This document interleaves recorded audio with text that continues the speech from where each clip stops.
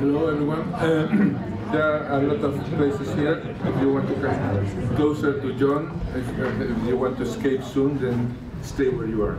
And uh, well, we have today John, uh, John Lott, uh, Jonathan Lott.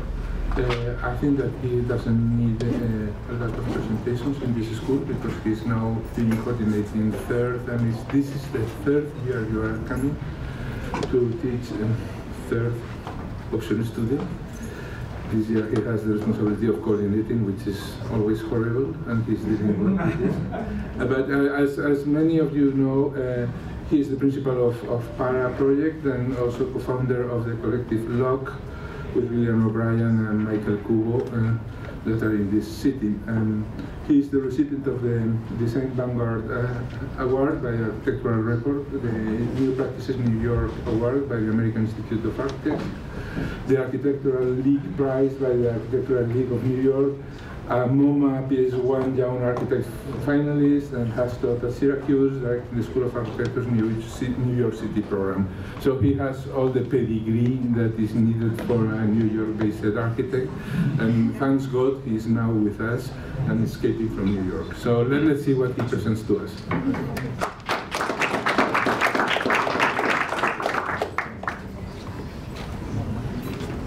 Okay, thank you, Iñaki, and thank you for inviting me to uh, talk about my work in this series. Uh, can everyone hear me fine? Is it okay? Yeah. Yeah? Uh, I'm going to go through um, uh, a number of projects quickly, uh, four projects which are uh, in my, of my own practice, solo work, if you will, but with the team, of course and then four projects with um, the collective that I work, um, Iñaki mentioned, Collective LOK, with uh, William O'Brien Jr. and Michael Kubo. Uh, I titled the talk Holes in Clockwork uh, for two reasons. One, because I'm interested in how to frame the projects as holes, uh, but also because I feel that uh, holes are where we find opportunity, gaps within the profession. Uh, ran a conference uh, called Loopholes as a student here at the GSD, uh, which was really about finding the space within the discipline to practice. Um, the second, uh, clockwork, is, is about the, the regular part of the profession that keeps things ticking, uh, always moving, the, the part that you can count on, but that uh, you're always fighting against a bit. Um, I think the subtitle for this talk would be uh, Headspace. This is Headspace, uh, a bust that I made for a show that, uh, that Liam curated in LA. Actually, John had a, had a bust in that show as well, where 11 architects were asked to create uh, a version of the bust in architectural terms. So it was very limited to the space of the pedestal, but rather than create an object um, which the, the bust and sculpture typically does, I wanted to create a space for the, for the face. Uh, here's Florian's face in my, my space. Um, and had, he had a bust in the show as well. Um, but I won't, I won't go into detail about this, but it was um, a very personal uh, exploration about how to concern uh, oneself with the space of architecture rather than the face. Uh, one of the first projects uh, before we get to the holes that I did was through invitation uh, to submit for 306090, which is a publication, I don't know if it's still running, uh, by Jonathan Solomon and Emily Abruzzo. Uh, they ran one of the issues on the topic of decoration. So of course I went to Mies and asked what if Mies uh, were to receive a facelift. Uh, how would, in particular, the Seagram building, rather than Mies's face, um, how could it be updated um, rather than in the sort of the mullions, the iconic I-beam as mullion, uh, in a Fordist, uh, with a Fordist agenda, be updated um, as per current technology with a post-Fordist uh, mentality. And it was uh, about a kind of post-Fordist nip and tuck that actually, rather than a solution um, and a proposal, was more a critique in some way and a question about why we manipulate because we can, simply because we can. Uh, and I felt like at the time there was an abuse of the tool on digital fabrication to the point where it was uh, absurd and excessive uh, architecturally um, operating because you can. uh, this image from Moulin Rouge uh, using Fatboy Slim's uh, song Because We Can.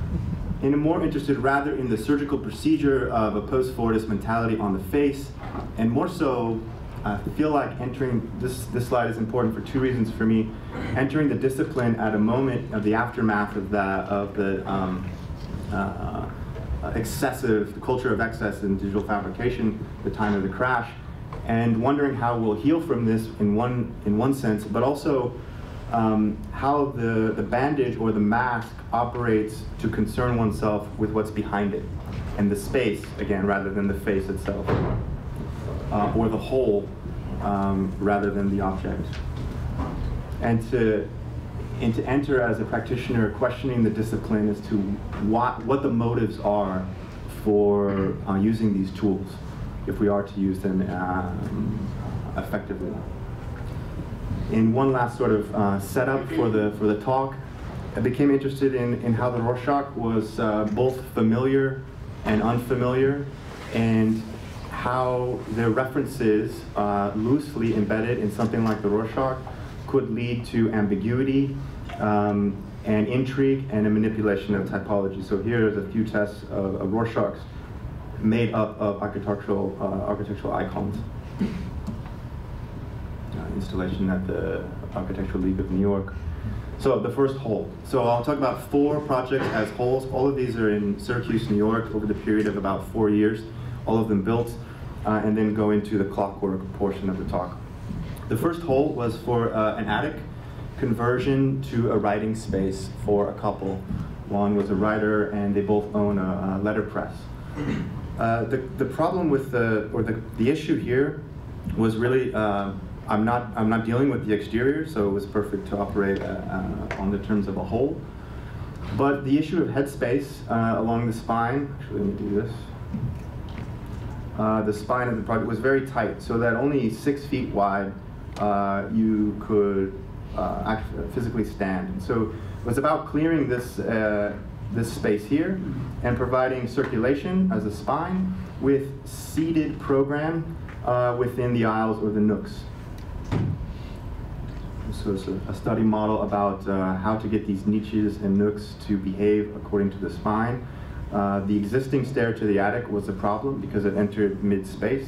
So we looked at ways to manage it, ultimately push the stair uh, rather than have it up, uh, pop up here, uh, compromising the circulation cross grain.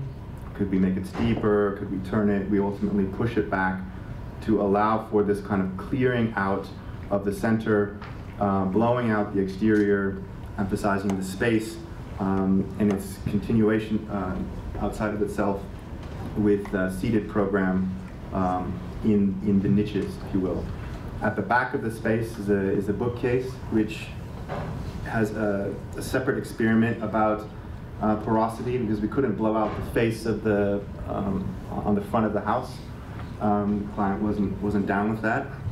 Um, but in, there is an attempt to have the space expand in this direction as well, vertically here, but also through a series of mirrors, uh, mirrored bookends that, that reflect, um, this is the panoramic, that that reflect the void on the opposite end to suggest uh, continuity through, through that face as well. At the rear of the space, the emphasis was a vertical expansion, so this was the, the initial agenda, but we pulled back the, the um, skylights, large skylights, this way to align with uh, uh, some of the plan geometry. And here again, you see some of the mirrored bookends uh, confusing what is surface, what is, uh, what is beyond, and what is behind. Uh, close-up of that. And we'll see this, uh, this experiment rears its head again in another project. This is a little clumsy, admittedly, version of this experiment. Looking back through at night, and again, was interested in how the space doubles outside of itself through reflection. Um, the same at the same time, uh, a friend of mine, had, he's a, songwriter, wrote this song that I felt like captured the angst that I, I felt uh, as an early practitioner, where the culture of excess had gotten to an absurd level, and I felt like the, the departure from, uh, from type and history uh, was a bit too strong, uh, leading to these slick and sometimes um, useless architectures. Uh, so there was a, a criticism um, to the agenda at the time, starting the practice 2009, right at the crash, uh, at the height of excess. Uh, and again, became interested in how um, the, the, very familiar context could, could become um, a way to distort familiar typologies. Um, so the second hole is called La Casita, and it is a cultural center uh, for a Latino group in, in Syracuse, New York. And they wanted to create a space um, based on this typology of the La Casita, which was a phenomenon in the Bronx in the 70s, where there was a series of fires, and the, the locals built these small casitas, these, um, these little houses for community uh, engagement. The problem was they wanted that, but their site, their given site by the University of Syracuse, was inside of a warehouse. So it really had to free itself from the uh, exterior demands of, of, the house, which was liberating for, for me. This was their, their sort of logo, the house, and um, was liberating because it could operate um, under the premise of the frame rather than uh, of the skin. So um, again, erasing the face uh, and getting to a porous um, void type of logic rather. So the, the house was distorted to fit inside in two ways. Uh, here you see the apex of the, um, the, the, typical house, uh, but only the frame was built as a way to organize the program in the, in the space. They have a gallery component here, a performance component here, uh, a library, classroom, kitchen, storage, office. Uh, so this is the sort of fixed program uh, that doesn't change that much, but always connected to this flexible uh, zone through the, the frame of the house. And the only partitions are these incredibly simple curtains uh, that allow you to segment uh, occasionally. Opposite the plan, um, the library has a sort of reciprocal uh, storage. So if it's the classroom for kids, there's a little mini gallery here. For the reading room, there's a library. And for the performance space, there's storage for the curtain. So this is the space built. Uh, you can see the curtains in play, closing the, the, the classroom a little bit, uh, partitioning off the, um, the event space in the back. All um, trying to abuse the frame and allow for this continuity between the two uh, sides. Um, to close it off when necessary, but also a kind of porosity between all the parts from the kitchen. Um, okay. The third hole is also in Syracuse and um, is a writing studio for uh, uh, two poets.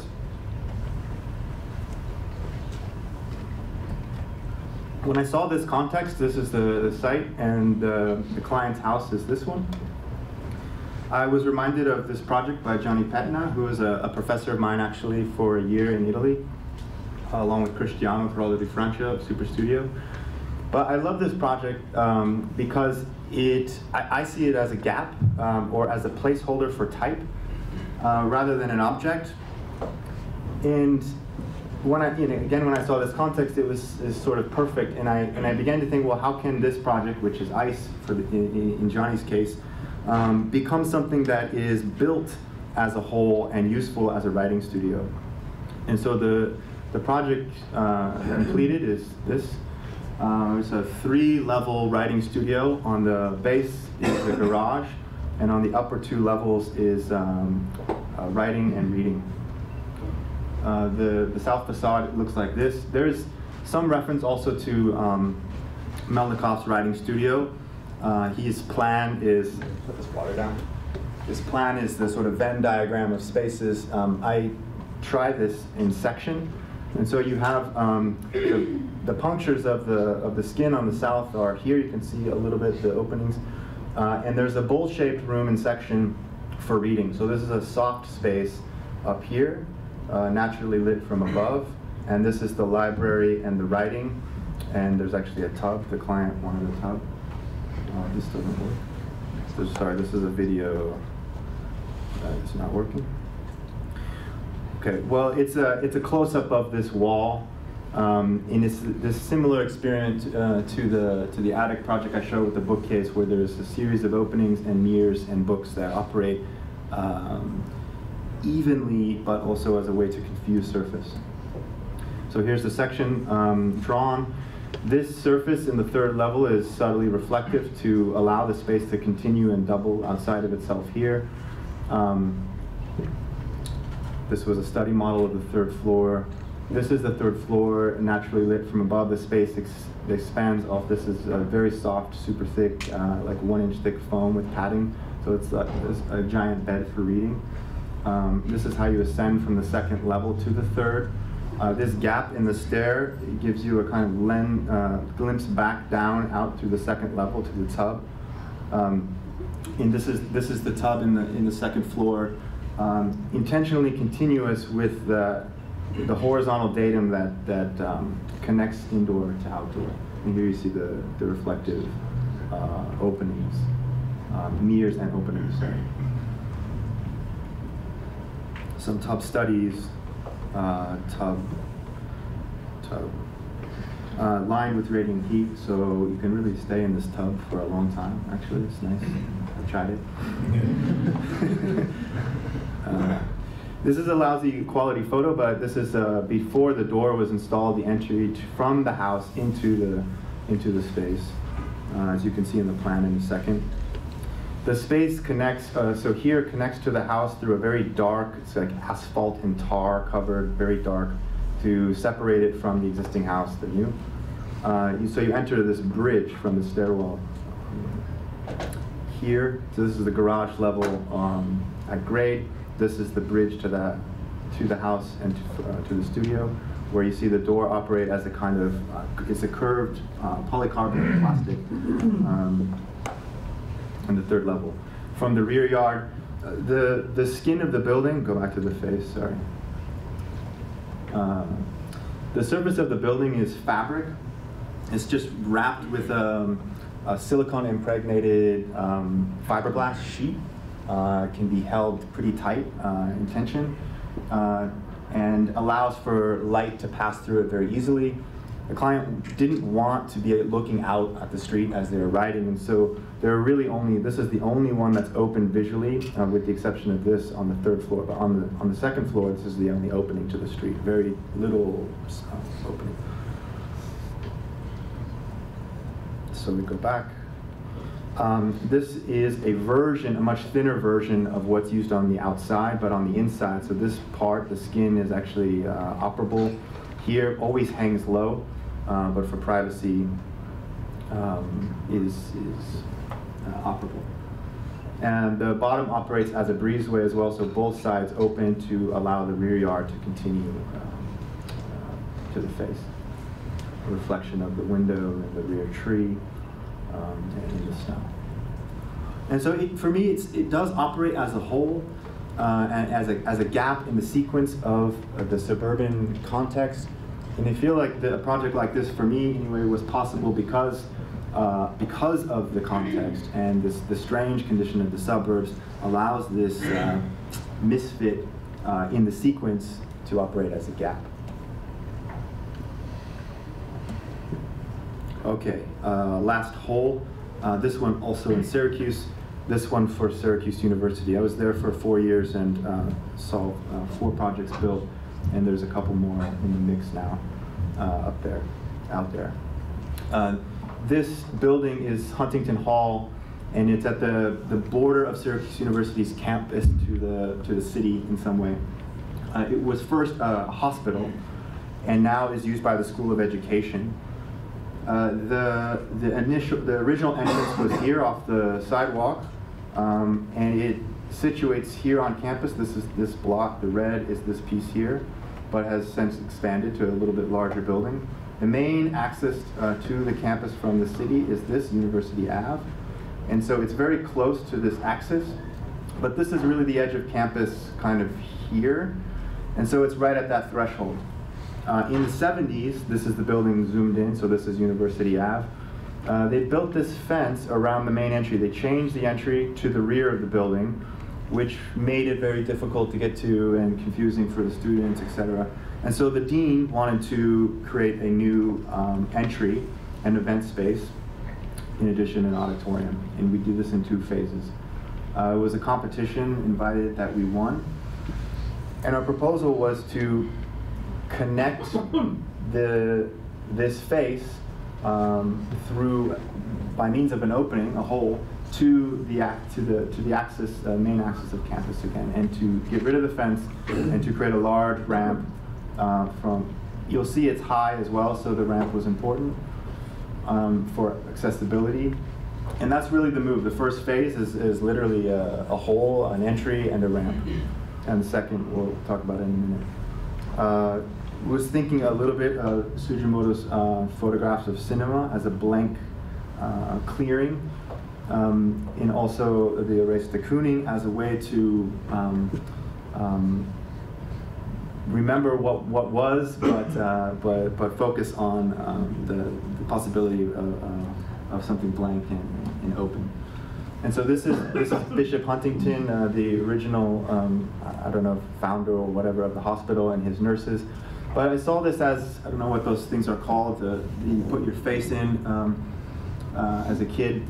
But I saw the building as you know as one of these things where the history is still there and the context is uh, is still essential, but that it can always be changing. The inside is always changing based on the activities uh, uh, and the programming and the use at the time.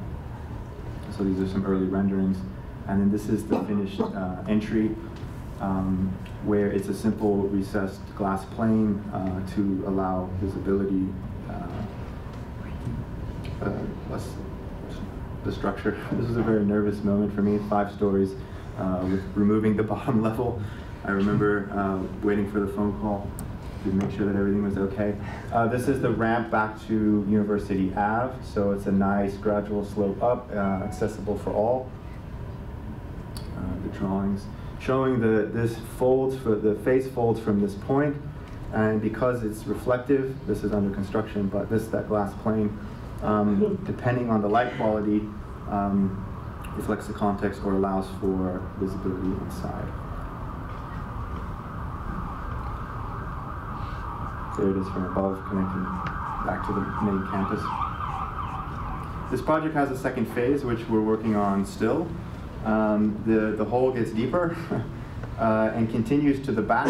this is the stair core in the building, and so this is very central. Um, this piece, which uh, in early phases was a kind of bullnose reflective exterior, is an auditorium so that the public can comment off the street and immediately to the, the event. Um, an early model of that auditorium. And some studies that we're doing now to accommodate, again, for um, accessibility primarily, where we're looking at uh, level portions and raked portions and how those can be combined. Okay, so those are the four holes in, on Syracuse. And the next four projects, how are we doing on time? Um, are with uh, the collective practice. And so I collaborate again with, uh, with William O'Brien Jr. and Michael Kubo, and we, we join together as a way to intentionally maintain our own practices, but have uh, the collaborative outlet in, in addition uh, to supplement, but not uh, uh, threaten, maybe in one sense. Um, and so we came together for this project, the Van Alen Institute. It was an open competition and we saw it as a perfect opportunity to, um, to work on a project together. And so we submitted for the, the Van Alen's new ground floor space. Uh, for those of you who know the Van Alen, they um, own the building here on 22nd Street in Manhattan. Uh, but they've previously been on the sixth floor and then the fourth floor. And David, the new director, uh, was very adamant about uh, if the Van Alen is, is about having architecture accessible to the public, that we need to be on the street. We need to be as accessible as possible. And so he wanted to move to the ground floor. Uh, the space previously was a bookstore by LOT-EK and then kind of stopped midway through. The references for us for this project were many, but two I'll, I'll bring up. The first was uh, Nishi's Discovering Columbus. You, anyone familiar with, everyone familiar with this project? Beautiful project uh, of the statue of Columbus, uh, Columbus Circle in, in the city. Um, otherwise, completely inaccessible and unavailable, right? Um, and Nishi's brilliance was to create a scaffold, literally, so that people could come up to the statue and build a room around it. Um, uh, that was essentially a kind of living room environment. Um, the beauty of this project goes, for me, back to the this relationship between the foreign and the familiar. Now you have something inaccessible and uh, in, in some ways foreign, um, that by, by bracketing it properly with space, uh, you're able to make it more accessible and seemingly familiar. Uh, so I, love this example, and in some ways we tried to do this at, at the Van Alen. Uh, if you take the Institute as being inaccessible, uh, Columbus. Uh, yeah, okay, so the, the second example was some uh, kind of phenomena, mostly in, in Berlin, I think, that you can opt out of Google Street View. And th this is a strange play on publicness because for me, when you see something like this, you care less about what's going on here, and there's an intrigue about what is behind the screen. Uh, and so the, the screen comes into play uh, a lot for the Van Alen we call it screenplay. And the proposal was a series of screens um, that operate together to create uh, a platform for scenarios, right? Um, the first screen really is this one here, and there there is a familiar shape to the La Casita project. Most of it is circumstantial, but the, all of the fixed program sits behind this screen, and can be opened accordingly as necessary to the flexible program. So that's our first screen. The other are these exterior screens. This one outside in the rear yard, semi-reflective and semi-porous, um, uh, transparent. Um, and in the front, also um, a screen which sits in the street so that when people walk through, because this is also partially reflective, they feel as though they're in the space. And so that this was our Columbus. this is our version of the Nishi, uh, which makes makes um, visitors feel as though they're they're in, inside without actually going inside.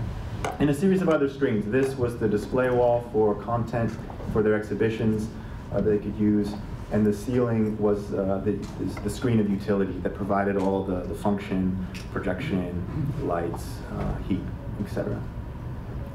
The plan, again, is kind of similar to the Van Alen in this kind of bow tie shape. This is the screen, uh, the, the main screen with the flexible zones primarily here.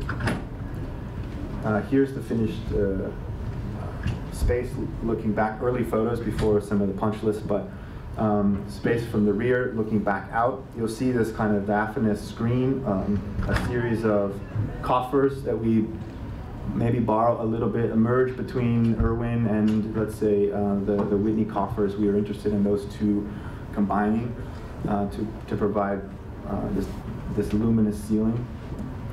Uh, when this, when the, the vinyl screen is closed, uh, it, it, provides a very, um, and this is the pinch point, very thin, um, very clear separation between but also you can op open up the pockets as necessary to, and open it up almost entirely actually uh, to allow for that relationship as you need. Um, so the, the screens, again, can be configured in many different ways. We, we provided a calendar for the Van Alen, uh, a, a, scenario uh, that, that they could play with. Um, and depending on how the screens were deployed, you could have a dinner party in the space. Um, clear shot, actually, this is the dinner party that we opened with, which we're happy to look to, very similar to the to the rendering.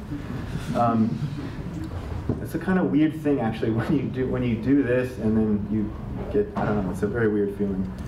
Um, or um, a kind of mixed media show um, by pulling the screens you can sort of partition uh, the space off.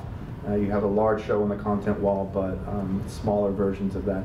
One of the first exhibitions using that entire display wall um, was about gentrification, and so that's showing the space in use. Um, a cocktail party all, if none of the screens are deployed, and here's the opening. Um, and uh, uh, many other scenarios because they also use this space as their offices. Uh, you can see office, I don't have any images of that here, but um, they work back here um, most of the time. Or a lecture scenario, which the rendering is this. Actually, this was um, just this Friday taken by um, Michael Kubo, uh, his book launch for Heroic, which uh, I believe there's also a book opening tonight if anyone is curious about um, uh, Michael Kubo's uh, effort on that front. And so this is a, a, full house at the, at the new Van Alen. And this, this is the uh, it hasn't happened yet. I'm still trying to twist David's arm. Uh, it might not. It did get cut initially. Uh, but this is the, the street seat, the screen that sits in front of the Van Alen. The other reason for this uh, solution was because the, this is a landmark facade. So we really couldn't do anything with this well, behind here, but with that. And so it was one way to get a new face. Um, this is also a trailer uh, and, and, has doors and can be attached to a truck or whatever and move through the city uh, for pop-up events, the way for the institution to, to leave itself a bit. Uh, three more projects. Um, we, after the Van Alen, had the opportunity to uh, enter for the PS1 MoMA competition um, that happens yearly.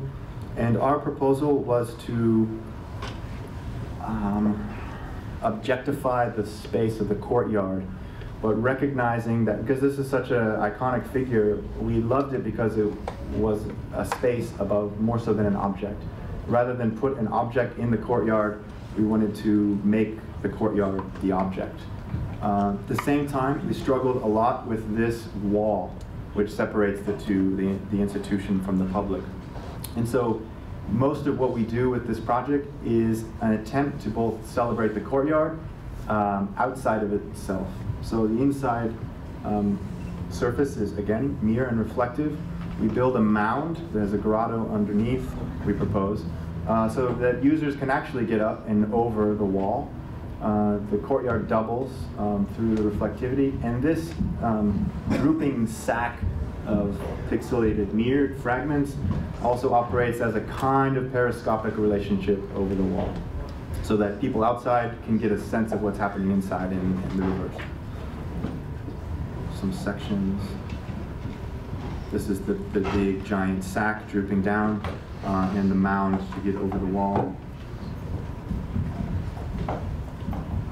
Kind of instant moment uh, where in the, the reflective tiles of the sack erode so that there is an escape of context uh, in the center when the space is space is free and clear of any uh, vertical interruptions as much as possible for the largest possible gatherings and at night because this is reflective operates as a kind of uh, strobe light for the party uh, in the summer but uh, David Benjamin won with his mushroom towers so. So we didn't get it. Uh, this is how it looks in the day outside. You can see the somebody trying to get outside of the institution. Uh, okay, two more projects. This one very brief, and the last one you know, probably even quicker. This project was a proposal for the Peace Corps, uh, commemorative work. They didn't want to call it a memorial uh, in Washington D.C. that we got honorable mention for. So close, but not close enough. Uh, they're working on the final round now, the final three. Um, always hurts to get fourth place. Um, this this site is a, it's a fairly small. Um, we'll go back to the relationship to the capital. So here's the capital, and there's the site. Um, this little island in the context was for us an opportunity to create a fictitious geography. Uh, I mean, how do you represent the agenda of the Peace Corps? Uh, right? So there's a, there are two grids here, actually, one starting from this side, moving this way, and one from this side, moving that way, the base. There's a single line starting here that wraps all like this, kind of crazy, and ends up here. This is an undulating glass wall And it does have a few shortcuts uh, that you can move through these otherwise trapped zones. So yeah, here you get a close-up of this wall, but you, you get, and you can see the shift in the grids when they meet this wall. So there is this boundary condition between two sides, whatever they might be, and the complexity of the border is enough to suggest, um, uh, we'll go back to the section, um, the need for transparency with, with re relationships about border are in play here in this project. Uh, so it's, it's complex enough that all these, uh, the, the geography, once it's extruded, um, creates a space and a zone for, for meandering, uh, but also the, the, transparency suggests how to get relationship between sides. Uh, the, the bowl overhead is a, is a cut, it's a void. It's the reverse actually of the, of the PS1 proposal. Just out of reach is this kind of space uh, that, that um, uh, collects them all together. Collects, collects this mess together, even though it's not uh, accessible. So it's, um, yeah, peace. Uh, yeah, and this is at night. You can see the trace, the line, um, and the bowl, uh, but this is the zone of occupation here. Okay, last project. This one we won. Good. Uh, but but very small and also very very difficult in a in a weird way. So this is for uh, actually it's not yet public, so don't say. But they're announcing I think today or tomorrow. Um, so if they change their mind, then I'll put my foot in my mouth. But uh, this project happens also yearly. I think it's in its eighth year, and it's for Times Square, and it is the the Valentine, uh, right, for the city. Uh, so it's tough because the mandate is you have to use the heart. Uh, it's tough. So, um, and so this is one of this is one of the proposals, and um, and you have to have it be interactive. Those are the two demands. Uh, so we didn't want to have an object. Uh, we wanted to create a space, and so we created these, this room. We call it the Heart of Hearts.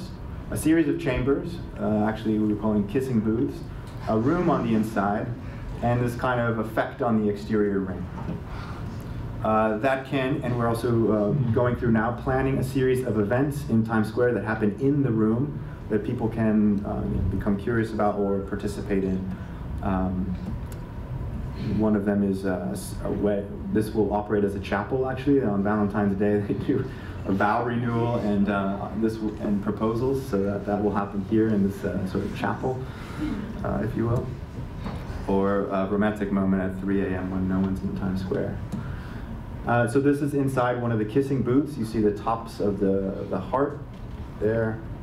Um, this is also inside one of the kissing booths, and because the, these are reflective, gold reflective hearts, because there, there is an attempt to uh, have this ring be defined st strictly by the context of the city. So they're, they're reflective, Inside is this kind of infinite regression uh, of kissers. Um, and the, the project is high, uh, that you can move through uh, the archway of a series of hearts that connect as a ring. So there's some uh, studies. It's supposed to spin. No. Anyway, uh, the surfaces are reflective and you can you can pass through. We're studying now how to maybe increase the amount so that we lose the heart even more, uh, but it becomes a ring, um, a crenulated ring that you can um, uh, do whatever whatever you want in. This is a wedding party photo shoot. Okay, that's it for me. Thank you.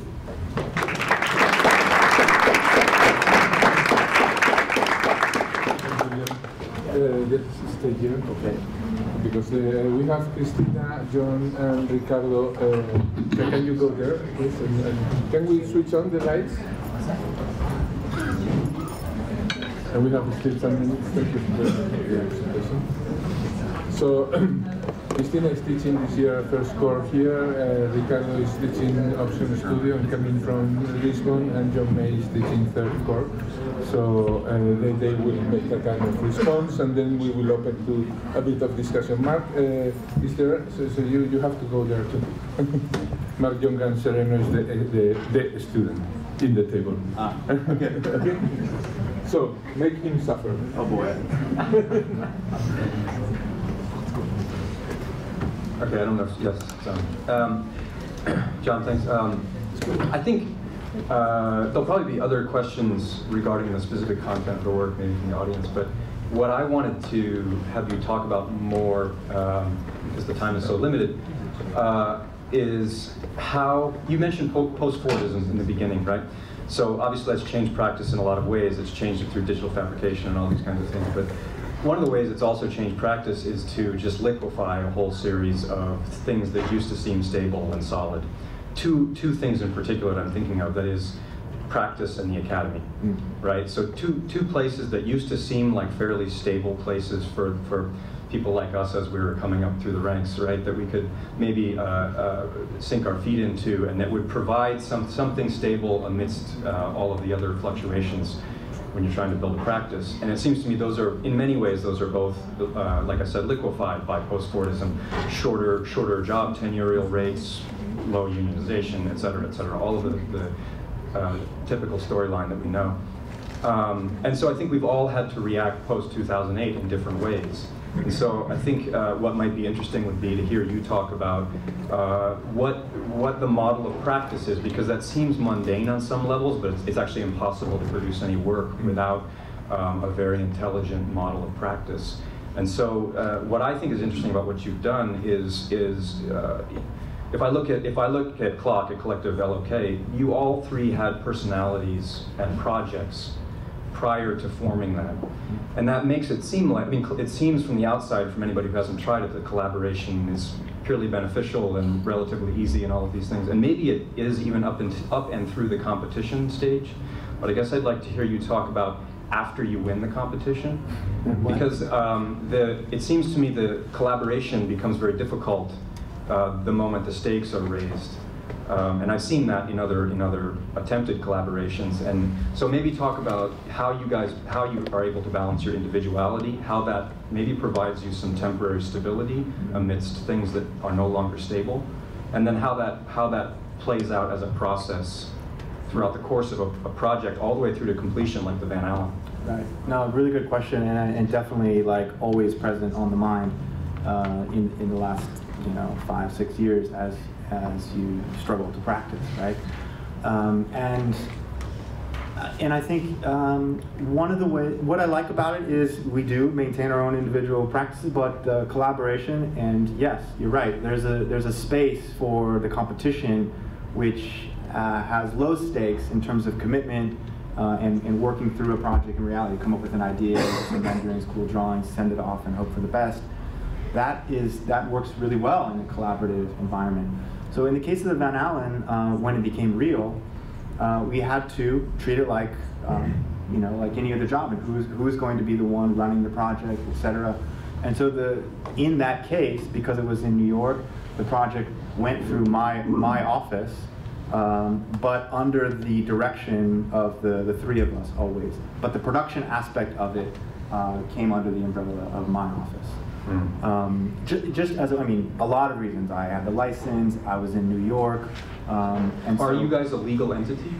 We are not a legal entity. The, the collective is not a legal mm. entity. So should and I'm actually working on a project with Liam, which is legally his but collaboratively ours in some way, mostly his. That's not shown here. Uh, so currently, it's not an entity uh, legally. And so we would then operate legally, you know, with our own. That's that's how it's. I mean, it's fairly new. It's a two or three years in, um, and no, but surely you have those conversations absolutely. relatively early on. Absolutely. And so in that case, because you know we got lucky with the first one, like, yeah. oh now what? Um, and so that's how we managed it with the insurance and the license came through my office. Um, hopefully there are more, and you know, we see what happens then.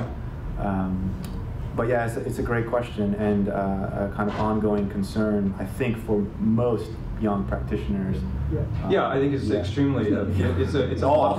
yeah, it's a model of practice. yeah, yeah, it doesn't change. Yeah. It, it just seems like a model of practice that is increasingly likely to replace the old standard partnership. Well, so yeah, and, and you know, I tried partnership actually. The first three years of my practice was a partnership, and it, and it was, had its good moments, but ultimately didn't work. And, and so this is the model that I'm now uh, very excited about because uh, there is, uh, especially when you're small, there's a vulnerability to the, the projects and uh, and how you build up your own practice, right? So I love the fact that um, I can now do both, and, and it, it, it feels really, really good, yeah. So. Christine? Oh, Mark. Yeah, so Yeah. I um, somehow related to what it means to uh, practice today and uh, this new model that you have found, but you also uh, were talking before about um, uh, how you are seeing the things that are happening uh, today in terms of like a critique to the excess. No, uh, you were saying that um, uh, we use the tools and uh, we manipulate that because we can, and how you can be critical to that uh, by looking back uh, and uh, being influenced uh, by what precedes us. You were talking about uh, distortion of typologies. Um, and you were talking about uh, that specifically uh, through uh, just before uh, the project of La Casita, you were talking about this distortion of typologies, but I, I see that there is like a lot of um, uh, relationships uh, with what precedes you in your projects, in most of them. Not maybe because all of them are um, interventions in something that is already there. Mm. So somehow, uh, it- like you, you, your projects are like very, very tightly constrained, either because it's through a typology that you want to distort, or because there's something else there that you then take and manipulate, and then you, you generate something new. So in somehow, I, I see like a great level of innovation uh, in the project, but innovation as the transformation, like uh, innovation uh, through its, in its definition, no? like the transformation of what exists.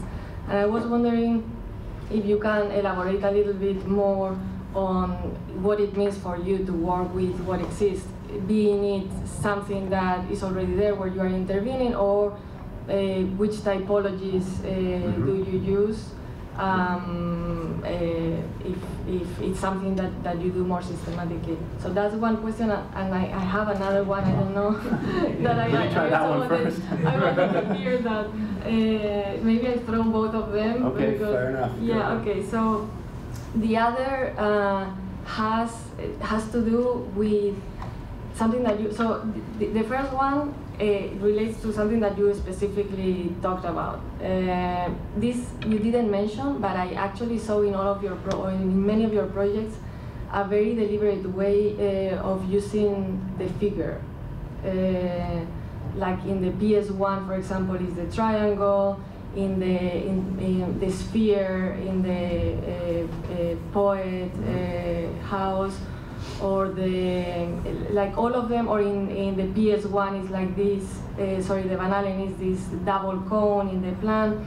And uh, I also I- I'm intrigued if this is something uh, the figure is something that you use uh, in a um, as a tool uh, to organize your projects, or this is something that come, comes afterward, like how uh, it's like kind of something that you overimpose. It's almost related to the other question, no? Like what exists Yeah. there versus what you impose. Yeah, I think uh, what I like about both questions is the and the common denominator for me for those two questions is that there is a root, uh, and one happens to be context or typological baggage that I love uh, as a constraint, um, and the other uh, is is uh, a geometric order or figure or um, uh, set of rules that also work to uh, synthesize and, con- and, constrain, right? And, and, and in both cases, the need to depart from only a little, if the original is not there, I feel it gets too messy too quick.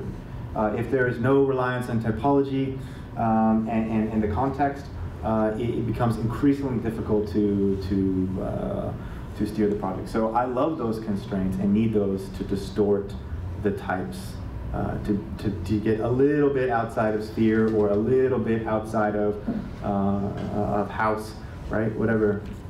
And I hope that I hope that clarifies. But I, I think that those those um, the context, both I see as contextual in some way, baggage, uh, uh, sometimes are not relied on enough, and that's, I feel like, and I, I love to use those things in the, in the work. So. No, um, well, first of all, I want to say that I enjoyed very much the presentation. Closer to the microphone. Oh, sorry. no, congratulations for all the presentation. I think it was beautiful and very interesting projects. Uh, and actually, there are two or three issues that I think were very, very important and are very important these days to share with students. Uh, one, of course, was already mentioned, this concept of because we can, we should not do. Mm. As we can do everything, it's time to be very sensitive and to choose which, Which one we should do. Exactly.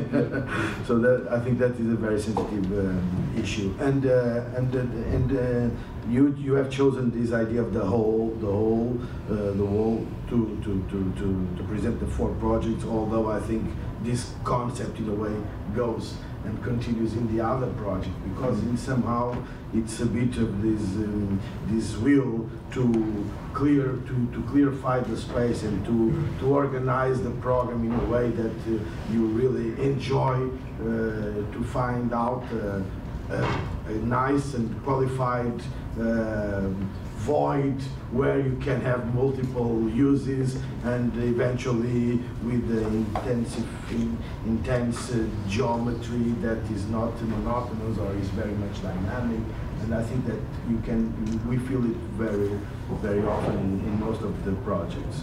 So um, for one side it has a lot to do with the, the manipulation of the programming uh, putting aside very all, all the the, the, the, the parts of the program that can be organized in a way that you have this central uh, piece, uh, which you see in most of the, the, the projects, and I think it's, it's very powerful in a way.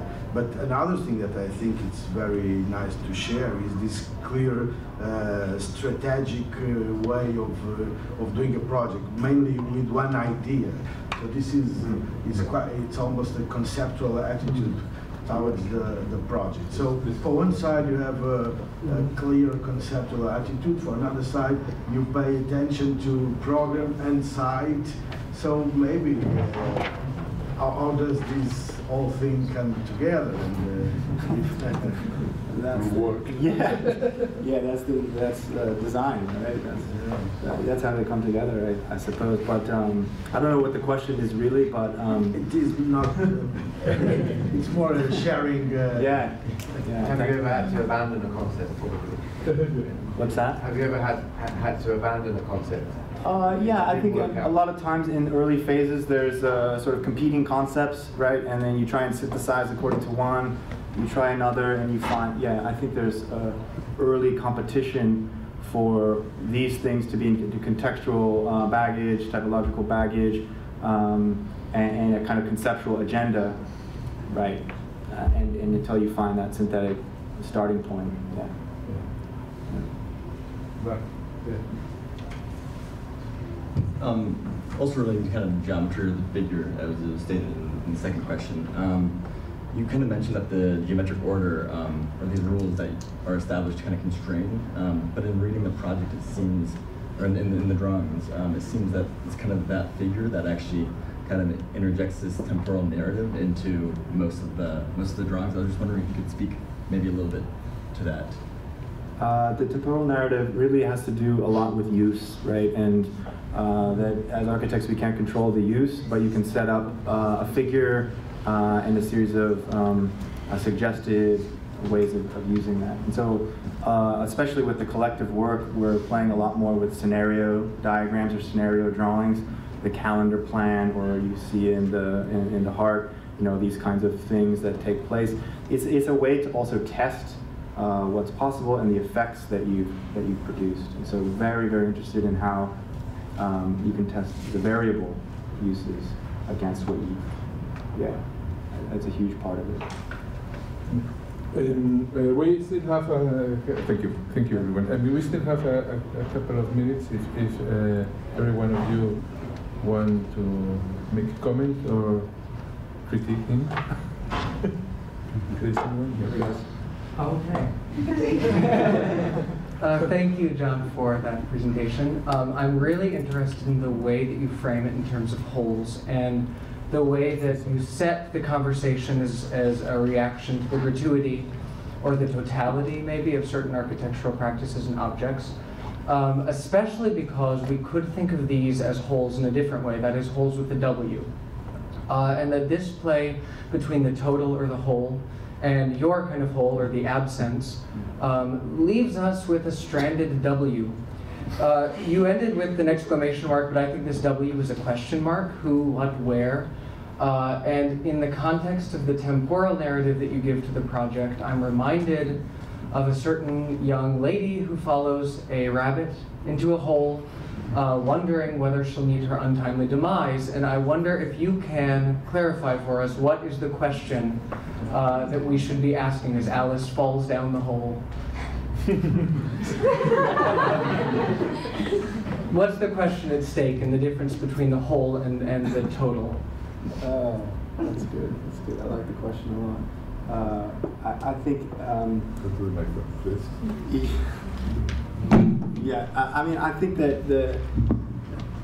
I, I thought about also that these, rather than holes are a question, each project is, is a question. And I, I think of the, the difference between an architect, architecture as a solution and architecture as a question. is something that we've talked in studio a lot about. And so I, I feel like uh, I, I prefer, the phase to me is the whole, um, the, the, the whole without W is the question. And, I, and I am leaning more and more towards trying to produce architecture that, that raises questions rather than uh, the answer. So I don't know if that, that. And you'd More say interested in that type of Yeah. architecture or whatever. And you say, for instance, the Seagram is, is like giving an answer, the, the Fordist approach. Uh, and Not- not the initial Seagram, no. Sure, but Not the, Mises. the operated Seagram that Uh, you showed. I think so, yeah. Any other question? One, two, three, three, two, one. But I, I want to just close saying that uh, uh, I, I, I think it's, it's, a pity, by the way, that, that you have made this lecture after we have published the, the, the on design techniques monograph in A plus D because I think it's a, it's a great lesson on design techniques and very, very consistent uh, from the, this first um, statement on, on because we can and the discussion on what, what can we do with this and, and, and with the persistencies of, of techniques and, and also the variations. on in terms of form, in terms of matter, I mean, I think fabrics are very important also, so there is, there is a kind of other things than just geometry, and also the, in terms of the movement of people. I think that many of the projects, this one in particular, but others are, are really uh, working on flows and, and, and taking much of their, let's say, energy or form from, from, from that. No? So I think is, is, is an amazing, interesting uh, proposal, this idea of working just with holes in, in, in terms of, of how, how I understand this, this proposal in terms of opportunistic uh, approaches. No? So, where we have to detect uh, in which moment what can be done and, and for, for whom. And, and I think this is a great lesson. Thank you so much. Thank you.